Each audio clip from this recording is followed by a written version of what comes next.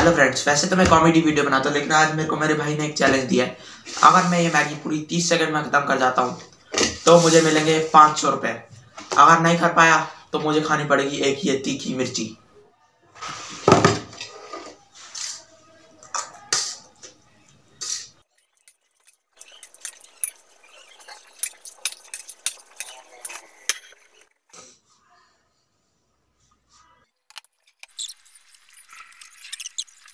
Friends तो जैसे आपने देखा, मेरी थोड़ी सी मैगी रह गई।